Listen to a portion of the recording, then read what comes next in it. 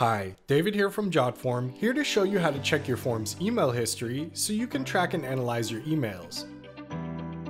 On the JotForm homepage, click your user icon and then go to Settings.